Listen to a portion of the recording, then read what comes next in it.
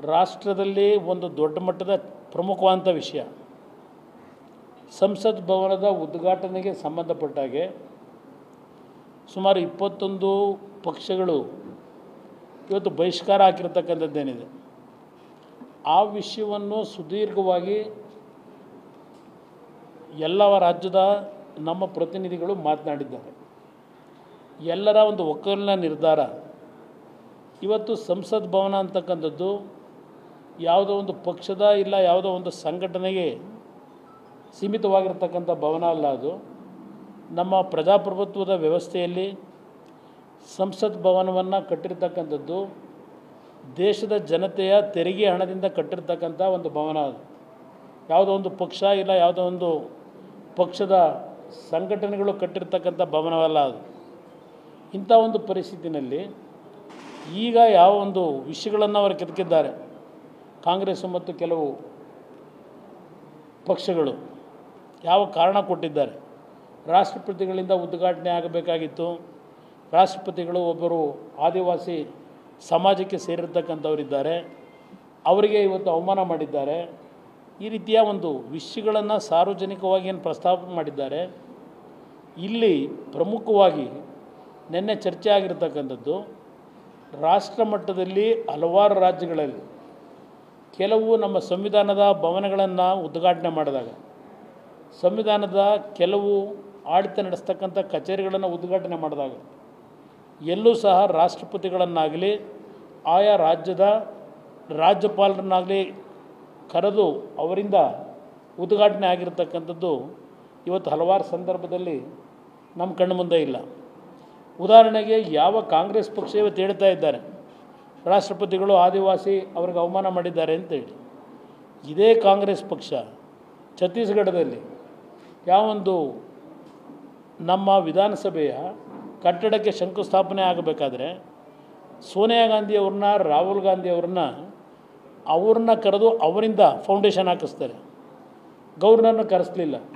ಇಲ್ಲ, ನಮ್ಮ ರಾಜ್ಯದಲ್ಲೇ ಎರಡು ಸಾವಿರದ ಐದು ಅವತ್ತಿನ ಕಾಂಗ್ರೆಸ್ ಸರ್ಕಾರ ಯಾವೊಂದು ಸುವರ್ಣಸೌಧದ ಪಕ್ಕದಲ್ಲಿ, ನಮ್ಮ ವಿಧಾನಸೌಧದ ಪಕ್ಕದಲ್ಲಿ ವಿಕಾಸಸೌಧ ಕಟ್ಟಿದ್ದೇವೆ.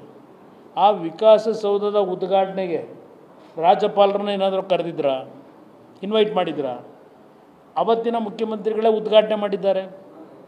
ಇದು ಕಾಂಗ್ರೆಸ್ ಪಕ್ಷದ ದ್ವಿಮುಖ ನೀತಿ ಏನಿದೆ? ಕೇವಲ ರಾಜಕೀಯದಲ್ಲಿ ಕ್ಷುಲ್ಲಕವಾದಂಥ ವಿಚಾರಗಳನ್ನು ಮುಂದಿಟ್ಟು ಇದರ ಮುಖಾಂತರ ಮತ ಪರಿವರ್ತನೆ ಮಾಡ್ಕೊಳ್ಳಿಕ್ಕೆ ಕೆಲವು ಸಮಾಜವನ್ನು ಮೆಚ್ಚಿಸ್ತೀವಿ ಅಂತಕ್ಕಂಥ ಕಾಂಗ್ರೆಸ್ ನಾಯಕರಿಗೆ ನಾನೊಂದು ಮಾತು ಕೇಳಲಿಕ್ಕೆ ಬಯಸ್ತೀನಿ. ಯಾವೊಂದು ಆದಿವಾಸಿ ಮಹಿಳೆ ಅಂತಕ್ಕಂಥದ್ದನ್ನು ಈಗ ಹೇಳ್ತೀರಿ ರಾಷ್ಟ್ರಪತಿ ಬಗ್ಗೆ. ಅವರು ಅಭ್ಯರ್ಥಿಯಾಗಿ ಚುನಾವಣೆಗೆ ನಿಂತಾಗ ಅವರು ಆದಿವಾಸಿ ಮಹಿಳೆ ಅಂತಕ್ಕಂಥದ್ದು ನಿಮ್ಮ ಕಣ್ಣಿಗೆ ಕಾಣಲಿಲ್ವೇ? ಯಾವ ಕಾರಣಕ್ಕಾಗಿದ್ರೆ ನೀವು ಅವತ್ತು ಅವರ ವಿರುದ್ಧ ಅಭ್ಯರ್ಥಿ ಹಾಕಿದ್ರಿ? ಆದಿವಾಸಿ ಮಹಿಳೆ ಅಂತಕ್ಕಂಥ ಗೌರವ ನಿಮಗೆ ನಿಜಕ್ಕೂ ಇದ್ದಿದ್ರೆ ಅವತ್ತು ಅವಿರೋಧವಾಗಿ ಅವ್ರನ್ನ ಆಯ್ಕೆ ಮಾಡಬೇಕಾಗಿತ್ತು. ಒಂದು ರಾಷ್ಟ್ರಪತಿ ಸ್ಥಾನದ ಹುದ್ದೆ ಅದು. ಹಾಗಿದ್ರೆ ನೀವು ಅದಕ್ಕೆ ಚುನಾವಣೆಗೆ ಅವತ್ತು ಯಶವಂತ್ ಸಿನ್ಹಾ ಅವ್ರು ನಿಲ್ಲಿಸಿದ್ರಿ. ಈಗ ನಿಮಗೆ ಅವ್ರ ಬಗ್ಗೆ ಕನಕರ ಬಂದುಬಿಡ್ತಾ, ಆದಿವಾಸಿ ಬಗ್ಗೆ ಇವತ್ತು ನಿಮಗೆ ಗೌರವ ತೋರಿಸ್ತಕ್ಕಂಥದ್ದು ಏನು ನೀವು ತೋರಿಸ್ತಾ ಇದ್ದೀರಿ? ಇದು ನಿಮ್ಮ ಬೂಟಾಟಿಕೆ ಏನು ಅಂತಕ್ಕಂಥದ್ದು ನಾವು ಕಾಣ್ಬೋದು. ಇವತ್ತು ಸಂವಿಧಾನದ ವ್ಯವಸ್ಥೆಯಲ್ಲಿ ಹಲವಾರು ಸಂದರ್ಭದಲ್ಲಿ ಇಂಥ ಒಂದು ವಿಷಯಗಳು ಬಂದಾಗ ಈ ರೀತಿಯ ರಾಜಕಾರಣವನ್ನು ಬೆರೆಸ್ತಕ್ಕಂಥವ್ರ ಮುಖಾಂತರ ನಮ್ಮ ಗೌರವವನ್ನೇ ನಾವು ಹಾಳು ಮಾಡ್ಕೋಬಾರ್ದು ಅಂತಕ್ಕಂಥದ್ದು ನನ್ನ ಅಭಿಪ್ರಾಯ. ಗೌರವಾನ್ವಿತ ಪ್ರಧಾನಮಂತ್ರಿಗಳು ದೇವೇಗೌಡರಿಗೆ ಇನ್ವಿಟೇಷನನ್ನು ಕಳಿಸಿದ್ದಾರೆ. ಅದರ ಹಿನ್ನೆಲೆಯಲ್ಲಿ ಹೋಗ್ತಕ್ಕಂಥದ್ದು ಸೂಕ್ತ ಅಂತೇಳಿ ನಿನ್ನೆ ನಮ್ಮ ಕಾರ್ಯಕಾರಿಣಿ ಸಮಿತಿ ಸಭೆಯಲ್ಲಿ ತೀರ್ಮಾನ ಮಾಡಿದ್ದೇವೆ. ಹಾಗಂತ ಹೇಳಿ ನಾವು ಬಿ ಜೆ ಪಿಯ ಬಗ್ಗೆ ಮೃದು ಧೋರಣೆಯಲ್ಲಿದ್ದೇವೆ ಅಂತಕ್ಕಂಥ ಪ್ರಶ್ನೆ ಇಲ್ಲ.